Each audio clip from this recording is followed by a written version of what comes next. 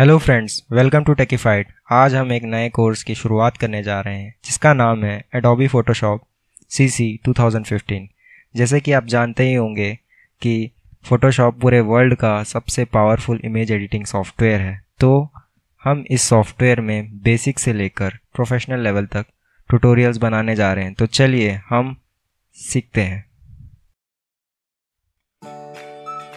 तो फ्रेंड्स आज के चैप्टर में हम सीखेंगे कि कैसे आप इंटरफेस में अपीरियंस चेंज कर सकते हैं। तो चलिए शुरू करते हैं। एडिट में क्लिक करेंगे प्रेफरेंस फिर उसके बाद इंटरफेस में जाएँगे।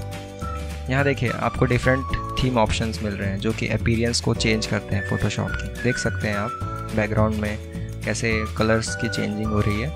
तो इस तरह आप फ़ोटोशॉप के अपीरियंस को चेंज कर सकते हैं और ओके पे क्लिक करेंगे तो वो अपीरियंस सेट हो जाएगा। तो हम डिफ़ॉल्ट ब्लैक को सेलेक्ट करके ओके पे क्लिक करेंगे। देखिए, इस तरह ये जो अपीरियंस है चेंज हो गया। इसका एक और मेथड है। शिफ्ट प्लस F1 की को प्रेस करेंगे तो डार्क और शिफ्ट प्लस F2 की को प्रेस करेंगे तो ब्लैक अगर आप राइट क्लिक करके यहाँ पे देखिए क्लिक कर रहे हैं तो यहाँ पे भी आप बैकग्राउंड के अपीरेंस को चेंज कर सकते हैं, अपने according black dark grey different options आपको देखने को मिलेंगे।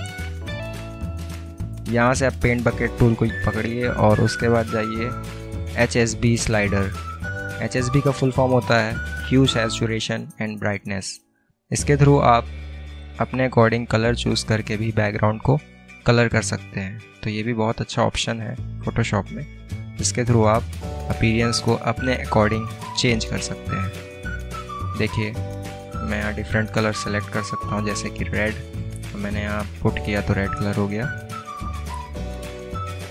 सेलेक्ट कस्टम कलर आप यहाँ पे कोई भी कलर को पिक करिए, वो कलर वहाँ पे आ जाएगा। तो इसी तरह आप अपीरियंस को चेंज कर सकते हैं।